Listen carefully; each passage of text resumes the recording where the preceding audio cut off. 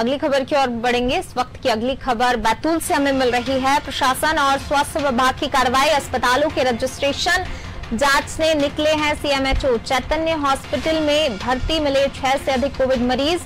Team ने मरीजों को शिफ्ट करने का आदेश दिया। कोविड मरीजों के लिए अधिकृत नहीं है चैतन्य हॉस्पिटल। कार्रवाई के बाद लोगों में आक्रोश।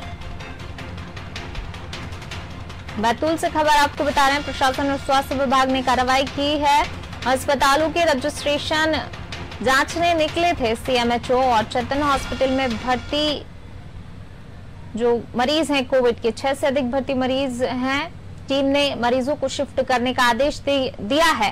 कोविड मरीजों के लिए अधिकृत नहीं है चेतन हॉस्पिटल, ये कहना है सीएमएचओ का। और ज़्यादा जानकारी के साथ हमारे संवाददाता सचिन हमारे साथ फ़ोन लाइन पर जुड़ गए हैं। सचिन, प्रशासन और स्वास्थ्य विभाग ने कार्रवाई की। अस्पतालों के रजिस्ट्रेशन जांचने के लिए निकले हैं सीएमएचओ क्या कुछ जानकारी?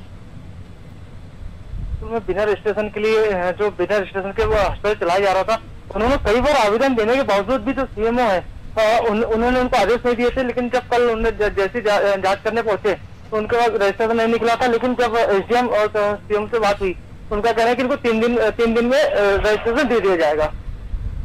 जी। शुक्रिया सचिन इस तमाम जानकारी को साझा करने के लिए।